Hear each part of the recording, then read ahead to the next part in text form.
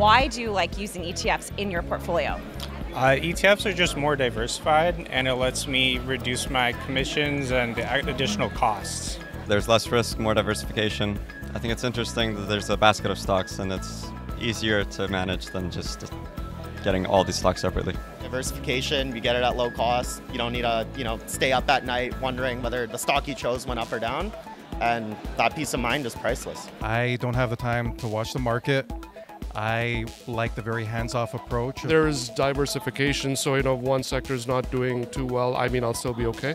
Um, so because of that, I'll prefer ETFs, but I do like single stocks as well that I feel might be well good. So maybe ETFs are the core of your portfolio, then stocks as, as a kind of an explorer. Yeah, yeah, yeah, yeah. So I, I have a few stocks, you know, that I feel like will hopefully will do well for me, but the majority of what I rely on are ETFs. Because it was sort of like a conglomerate of group of stocks and it gives me a monthly dividend.